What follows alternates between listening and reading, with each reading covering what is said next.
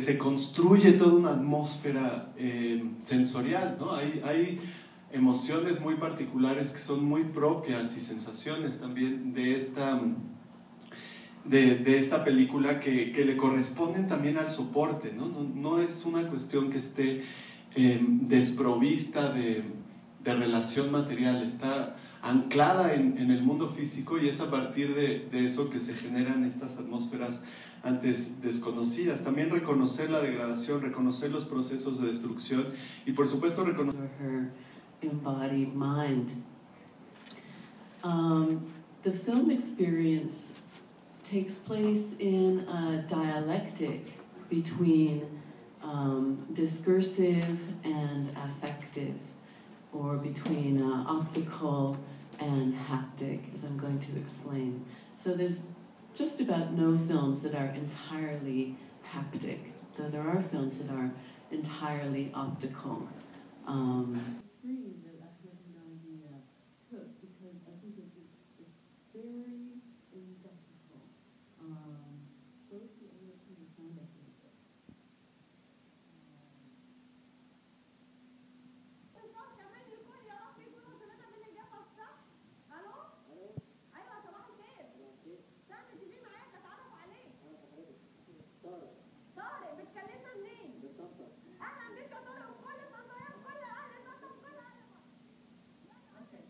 The, um, the, through the image, the algorithm connects us to the filmmaker as well as to the platform that he or she is using. So yeah, animation is uh,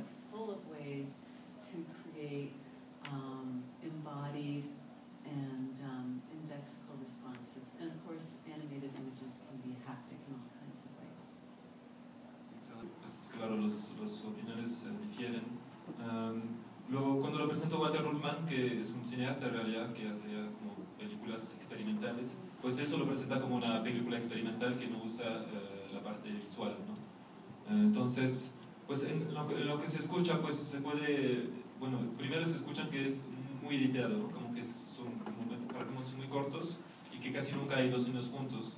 Esto también está relacionado con la posibilidad técnica de, de la época, ¿no? O sea, 1930 es un año después de la primera película con sonido,